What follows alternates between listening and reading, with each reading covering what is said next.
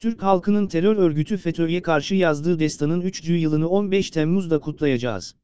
Hain FETÖ örgütüne karşı halkımızın büyük dayanışma örneği gösterdiği bugün de milletimizin içeride ve dışarıdaki hainlere karşı vermiş olduğu mesaj büyüktür. 15 Temmuz 2016 gecesi Türkiye karanlık günlerinden birini yaşadı. Türk milleti ve devletine karşı yapılan darbe girişimi halkımızın büyük iradesiyle durduruldu. Şüphesiz ki FETÖ'nün darbe girişimine karşı en önemli kırılma noktası. Cumhurbaşkanı Erdoğan'ın halkı meydanlara sokaklara çağırması oldu. O kara geceyi aydınlatan vatanına sahip çıkan Türk milleti oldu. Cumhurbaşkanı Erdoğan'ın çağrısıyla dünya tarihinde eşi ve benzeri görülmemiş bir darbe direnişi başladı. Kahraman Türk milleti FETÖ'cü hainlere karşı göğsünü kurşunlara siper ederken geride 250 şehit ve 2196 gaziyi bıraktı. Ancak FETÖ üst aklın kontrolünde Türkiye'yi teslim alamadı.